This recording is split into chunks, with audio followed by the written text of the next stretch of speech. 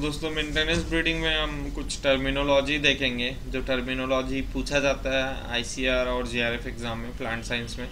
ये टर्मिनोलॉजी कुछ इस तरह है, जैसे कि पहला है व्हाट इज़ एक्सटेंट वेराइटी तो एक्सटेंट वेराइटी क्या हुआ? That means variety available in India which is notified under section five seed act nineteen sixty six fifty four और नाइनटीन सिक्सटी सिक्सटी सिक्स है ना?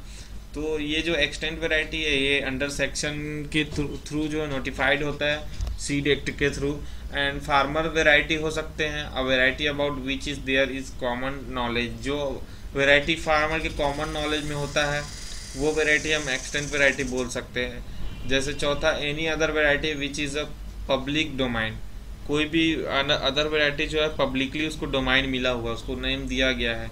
वो रजिस्टर्ड है, उसे क्या कहेंगे? एक्सटेंट वेराइटी कहेंगे। नेक्स्ट एक्ट जो था extant variety are defined as the variety that are available in India and have been notified under section five under section five के अंदर ये नोटिफाइड है seed act nineteen sixty six and और farmer variety और variety about which there is common knowledge और any other variety that is the public domain जैसे मैंने पहले ही बताया, इनको पब्लिकली डोमाइन मिला होता है और एनी अदर वेराइटी जो कॉमन नॉलेज में होता है फॉर्मर के उसे कहा जाता है। नेक्स्ट हम देखते हैं।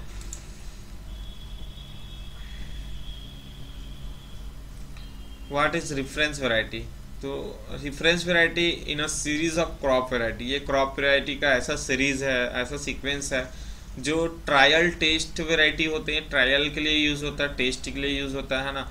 टेस्टर के एज ए टेस्टर यूज़ करते हैं are compare with to another and with इसको अनदर से कंपेयर किया जाता है। टेस्ट टेस्ट वेराइटी है, इसको कोई हम वेराइटी डेवलप कर रहे हैं लोकल वेराइटी उससे हम कंपेयर करते हैं, उसको हम टेस्ट वेराइटी करते हैं। Reference variety that is included in all trials है ना? ऑल ट्रायल्स में इसको यू इंक्लूड करते हैं। Usually the estimate of the expected difference between the test variety and the reference variety तो यही डिफरेंस होता है टेस्ट वेराइटी और रेफरेंस वेराइटी में, है ना? नेक्स्ट देखते हैं व्हाट इज़ हाइब्रिड हाइब्रिड या biological hybrid is offspring resultant for the combining the qualities of two organism of different breeds variety species or general through sexual reproduction तो वह hybrid वही हुआ कि किसी दो ऑर्गेनिज्म को हमने क्या किया? क्रॉस करके हाइब्रिडाइजेशन करके जो बना हमारा ऑफ़ स्प्रिंग उसको हम क्या कहते हैं? हाइब्रिड कहते हैं। तो ये सिंपल सिंपल टर्मिनोलॉजी है और कभी कभी एग्ज़ाम में आ जाता है और घुमा करके पूछ देता है तो जमता नहीं है तो इसको आप अगर अच्छे से ध्यान दे करके देखेंगे तो आप इसे बना पाओगे। नेक्स्ट देखते हैं। What is maintenance breeding maintenance breeding क्या होता है? तो मेंटेनेंस ब्रीडिंग जो है ब्रांच होता है प्लांट ब्रीडिंग का जो principles and method of branch of plant breeding which deals with the principles and method of breeder seed production and maintenance is called maintenance breeding.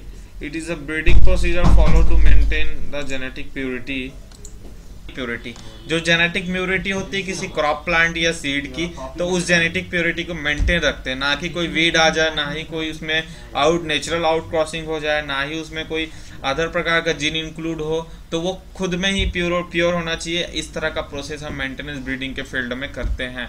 हम आपको मेंटेनेंस ब्रीडिंग फ़ील्ड में हम क्या करते हैं, इसका वीडियो बनाया है लिंक पर आपको दिया गया है और आप वीडियो देख सकते हैं कि हम ऑन द फ़ील्ड कैसे मेंटेन करते हैं। नेक्स्ट देखते हैं हम व्हाट इज़ जेनेटिक प्योरिटी तो जेनेटिक प्योरिटी जो है refers to the trueness to the type जो of caused by the undesirable genetic varieties और are species the successive of hybrid seed production is depended on the genetic purity of pure lines genetic purity क्या होता है कि उसकी gene की जो purity जैसे हमने बताया, किसी तरह का कंटामिनेशन नहीं होना चाहिए अनडिजायरेबल जेनेटिक वेरिएशन नहीं आना चाहिए, जो भी आएगा वो डिज़ायरेबल हमारी इच्छा के अनुसार होना चाहिए। और जो सक्सेस हाइब्रिड होता है, उसके प्रोडक्शन के लिए जेनेटिक प्योरिटी जो है प्योर लाइन जो मेंटेन करना जो है, बहुत ज़्यादा इंपॉर्टेंट होता है। नेक्स्ट देखते हैं हम what is physical purity the process of ruptured until the sample of require weight is obtained of physical purity analysis the physical purity analysis of seed sample is the seed testing laboratory first to the determination of different components जो purity होती है physical purity में जो different components पाए जाते हैं seeds में जैसे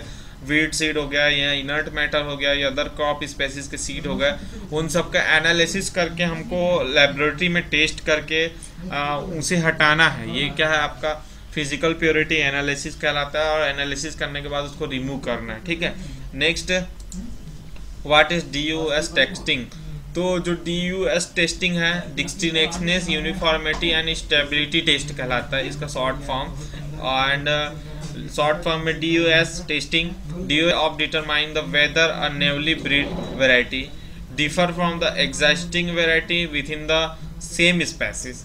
The destination part okay तो मैं इसको शॉर्ट में बता दूँ कि distinctness uniformity and stability test जो होता है वो जैसे कोई अगर हम वैरायटी रिलीज़ कर रहे हैं तो उस वैरायटी जैसे हम कोई वैरायटी रिलीज़ कर रहे हैं तो उस वैरायटी को हम क्या करेंगे कि देखेंगे कि ये दूसरे नॉर्मल वेराइटी से किस पोटेंशियल में आगे है। या तो वो इल्ड में होगा, या फिर वो ब्रांचिंग में होगी, या फिर फ्लावरिंग में होगा तो कोई भी उसका डिस्टिनिक कैरेक्टर को लेते हैं पहले तो।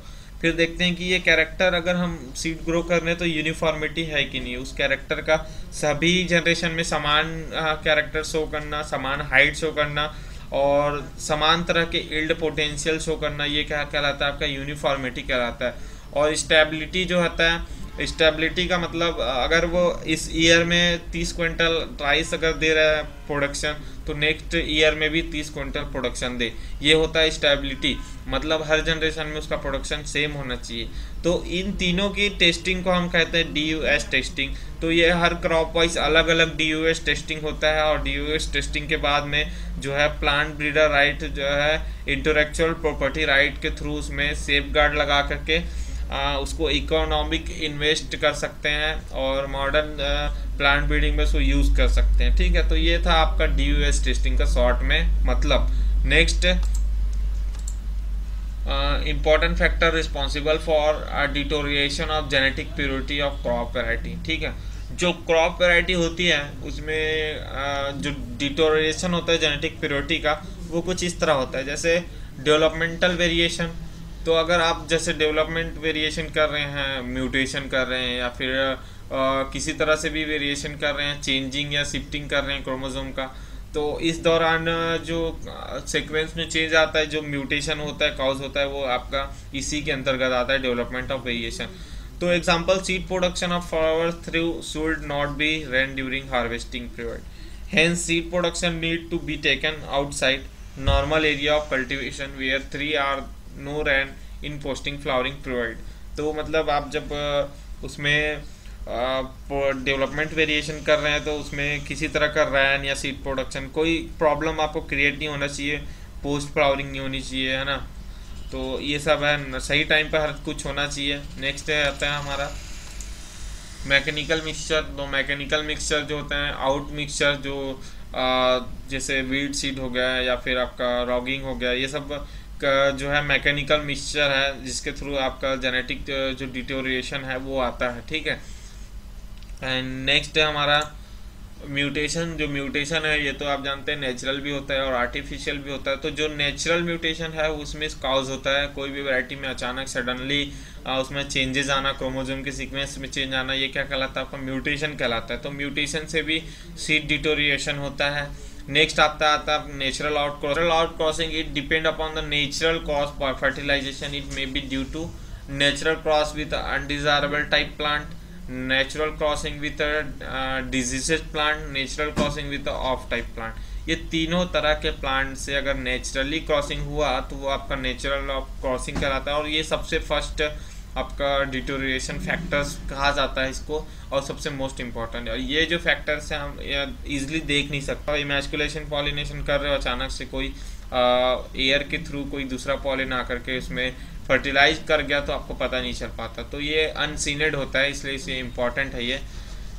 नेक्स्ट देखते हैं हम वाट इज़ सीड टेक्नोलॉजी तो seed technology nothing but it is a seed, is a biological industry. Seed technology is the science deal with the method of improving physical and the genetical character of seed. तो physical और genetical character को आपको improve करना है, वो सब seed technology में किया जाता है और सीड टेक्नोलॉजी में जो मल्टीप्लिकेशन का प्रोसेस होता है प्लांट ब्रीडर का, वो मल्टीप्लिकेशन का प्रोसेस स्टेप बाय स्टेप जो है, चलता रहता है जनरेशन आफ्टर जनरेशन नेक्स्ट आता है production seed processing and seed certification and storage ये सब जो है सीड टेक्नोलॉजी के अंतर्गत होते हैं। नेक्स्ट आते हैं हम what is isolation distance the isolation distance between the seed and crop particular एक आइसोलेशन डिस्टेंस होता है जो क्रॉस पॉलिनेशन को प्रिविलेंट करता है और उसे बचाता है। तो रिसर्च जब हम करते हैं तो जैसे सेल्फ पॉलिनेटेड क्रॉप में तीन मीटर आइसोलेशन डिस्टेंस रख, रखते हैं और को जो हाइब्रिड प्लांट है, उसमें सौ से दो सौ। तो ये अलग अलग होता है सर्टिफाइड सीड और फाउंडेशन सीड के लिए। हम नेक्स्ट देखेंगे क्या क्या कितने कितने डिस्टेंस होते हैं।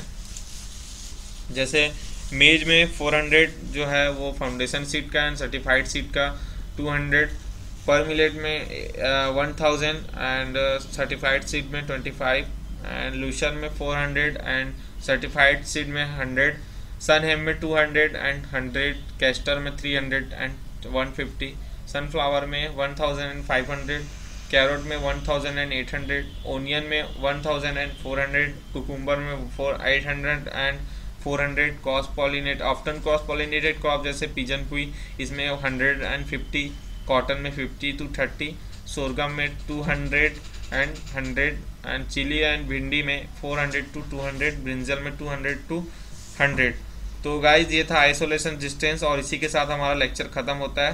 तो नेक्स्ट लेक्चर में मिलते हैं। आज के लिए इतना ही। Good day